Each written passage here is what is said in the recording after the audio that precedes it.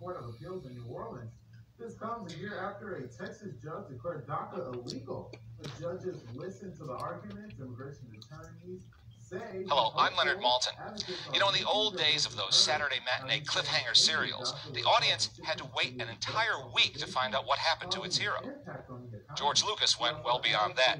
He kept us all waiting years between Star Wars, The Empire Strikes Back, and then finally, Return of the Jedi. Thanks for being here.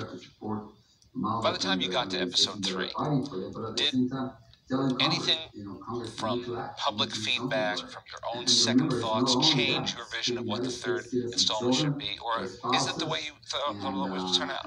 No, it's pretty much the way it was always thought to come out. I mean, the, I had to make certain changes of things because in the original screenplay, the, the Ewoks were Wookiees, and and Chewbacca really wasn't the co-pilot. So. Um, and so when I did the first film, I loved the Wookiee so much. I said, well, I gotta get a Wookiee. Those may never get done. So I took the Wookiee out of the battles and made him the co-pilot. Uh, because originally they were sort of a primitive race of people who couldn't fly or couldn't do anything, and because uh, that was the point. And um, so I had to sort of, I had to figure out how I was going to do Wookiees, and I basically cut them in half and called them Ewoks. Was, it was, um, you know, a lot of that stuff is all, all there. But in the, in the original, it was a ground battle and an air battle altogether. How did you ever think of Jabba the Hutt? Well, Jabba, it's one of those things. I needed a, a gangster. I mean, I had the, he was in the first film, and uh, in the uh, you know, in the special edition, putting back a lot of material with Jabba the Hutt in the first film, in the in the very first one that we did, and um, he so he was in that. You know, he's this big gangster. Uh, and uh, it wasn't until a little later that we actually, because we couldn't do that sequence because we didn't have the time. But uh, when we got to the third one, Jabba appeared, then we did this whole thing of designing that one as a big kind of repulsive character. And, uh, and uh, lot of designers coming up with various versions of Jabba the Hutt. Was it a conscious decision to move a good chunk of the action from Part 3 into an earthly outdoor terrain? Uh, it's so different from anything you see in the first two films. Well, it was. I'm, I'm very conscious of the environments, and I try to have at least three environments in a movie, and I try to have them as different as possible. And then from movie to movie, I try to have the environments as different as possible. Um, you know, in the first movie, we were on a sand thing. It was all kind of a brown color. So then on the second one, I put the snow and it was all kind of white. Uh, and then I did the green, you know, swampy kind of thing. Uh, and the third one, you know, I mean, you're sort of, I mean, what can you do in terms of environments? You have to shoot it somewhere on this earth. Unfortunately, we can't go somewhere. So, you know, a forest was really about the only thing I had left. And originally, even with the Wookiees, they, they the Wookiees lived in a forest environment. They lived in the same kind of tree houses, and they did that know, it was they were sort of Earth people. There's a whole motif of like Luke's planet. Every everybody is brown. There's lots of browns and earth tones. Everything is earth tones, light tan, light brown, uh, flesh color.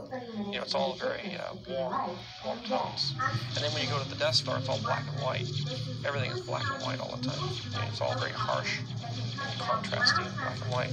And I use that a lot. So in the larger one, it was the same way. Know, was, you know, where the Wookiees lived, it was all sort of green and brown. Know, I added that in. It sort of was a motif that went from sort of a tan brown to a green brown.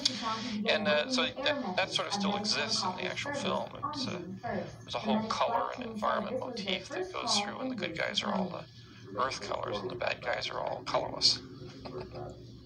Your many, many fans, and there are many avid fans, as you know, of the Star Wars trilogy, are wondering about the next three films. And why is it taking so long? Why does it take so long? And how long will it take?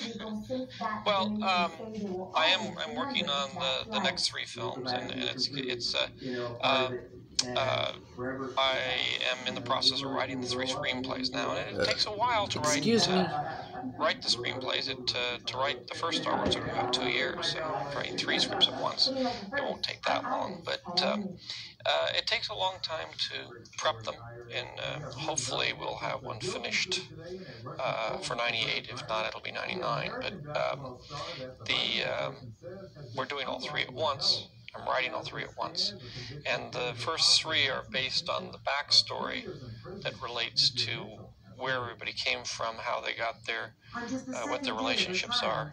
Has this backstory been in your head all along from, from the inception? Yeah, yeah. I mean, it, I had to do the backstory in order to write the first three. Uh, I had to know where Darth Vader came from. I had to know what his relationship to Luke was. I had to know how Ben Kenobi figured in all of this. Um, you know, and I had to realize that there were, I had to understand that there were twins, and the whole arc of the story uh, Uh, in the in the three that are out there now is really the redemption of Anakin Skywalker.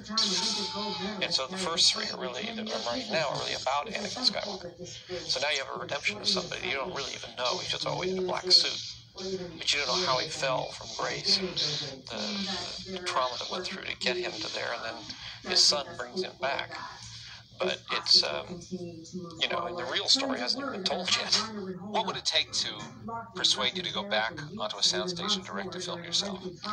Well, I'd like to direct again. I mean, I'm very interested um, and still in directing, and um, there is a possibility I may direct one of the next Star Wars.